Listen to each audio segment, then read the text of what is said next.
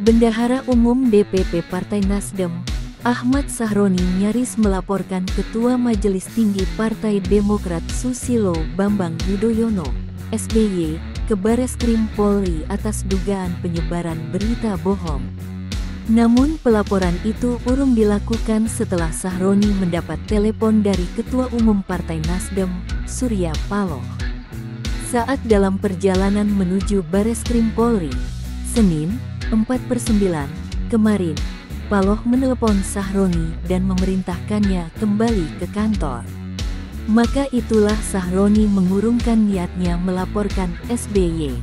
Selain larangan dari Paloh, Sahroni mengaku juga diminta oleh bakal capres dari Partai Nasdem, Anies Baswedan, untuk tak melaporkan SBY ke Bareskrim. Sahroni sedianya ingin melaporkan SBY dengan dugaan penyebaran berita bohong.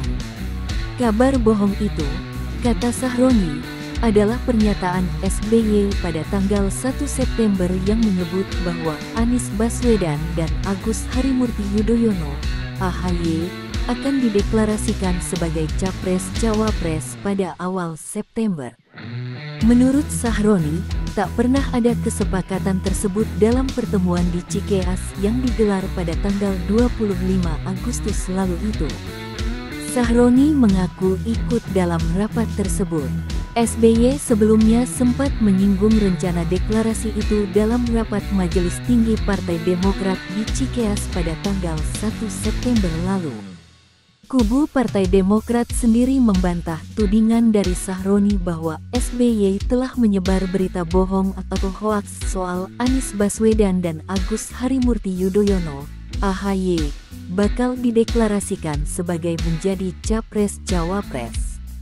Ketua Badan Pembina Organisasi Keanggotaan dan Kaderisasi, BPOKK, Partai Demokrat, Herman Haeron memastikan kesepakatan deklarasi Anies AHY itu memang sempat telah diungkap dalam pertemuan tanggal 25 Agustus lalu.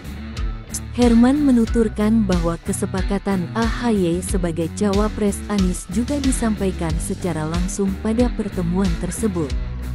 Bahkan, ada juga permintaan tertulis dalam pertemuan tersebut. Oleh sebab itu, Herman membantah SBY menyebarkan berita bohong soal adanya kesepakatan tersebut.